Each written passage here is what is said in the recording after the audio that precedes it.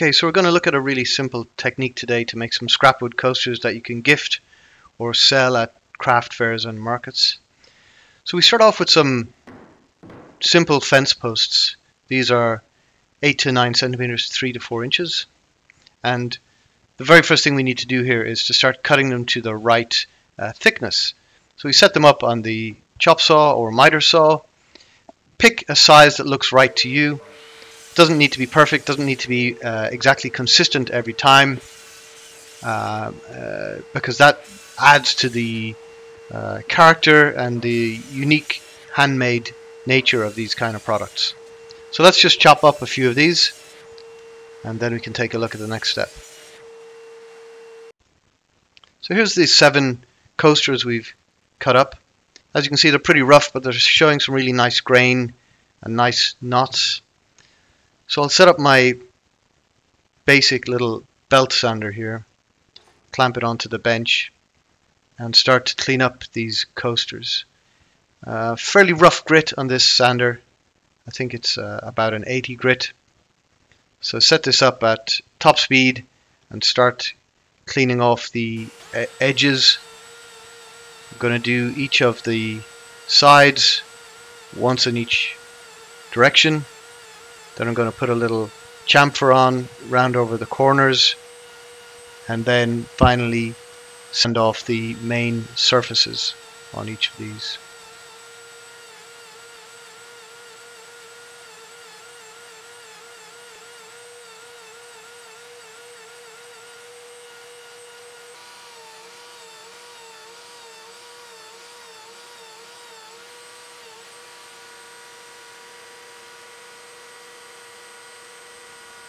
Okay, great. So now we have a bunch of coasters sanded off with that fairly rough 80 grit paper.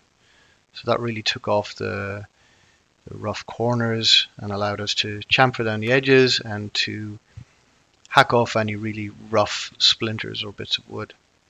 So now we need to go to something like a random orbital sander, a higher grit now, maybe a 120 grit, and this will give us a much uh, smoother finish and a finish that's just nicer to touch, which is actually critical with something like this because people will be handling it all the time and that'll be one of the ways they sort of judge the, the quality of this kind of product.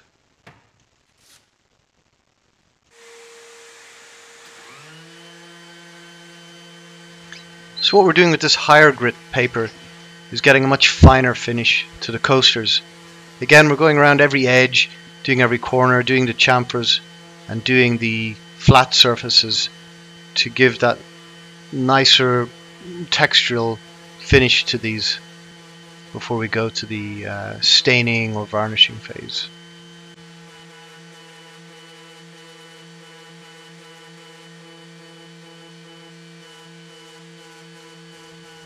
Now I appreciate I'm spending a lot of footage time on sanding here but this really is an important step and it's kind of what differentiates uh, really basic DIY projects from something that's a bit more professional and commercial.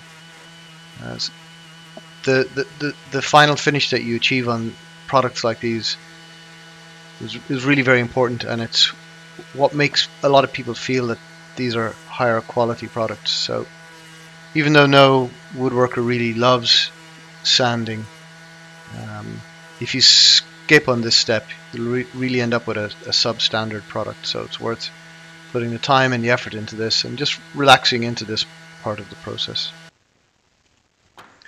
The coasters are all cut, rough sanded and smooth sanded. So now it's time to move on to uh, finishing them. So I've got a couple of different oils, antique oil, Danish oil, beeswax and some stain. I'm just going to experiment with these on the coasters and give you a look at the different kind of finishes that we can get with each of these. So I'm going to do this really rough and ready style. I'm just going to kind of splash on the stains and the oils um, and give you a quick look at the, the, the different finishes that you end up with.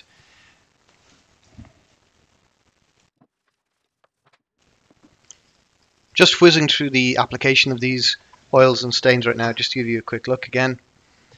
Uh, very messy, um, I'm definitely not uh, very skilled at doing this.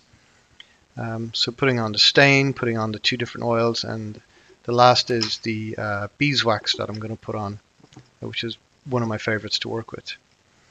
So just quickly wiping these on and now I'll stack them all up and give you a look at them side by side.